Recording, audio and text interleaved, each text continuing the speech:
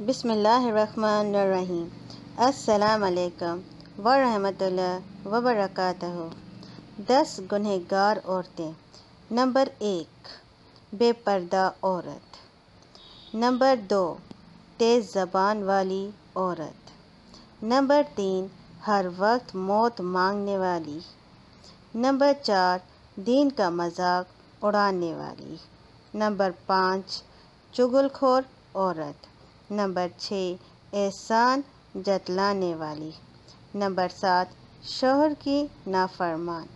Number आठ, गिबत करने वाली। नंबर नौ, बाल खोलकर चलने वाली। नंबर दस, बग़ैर ज़रूरत के घर से निकलने वाली औरत। जज़ाकल्ला अल्लाह हाफिज़।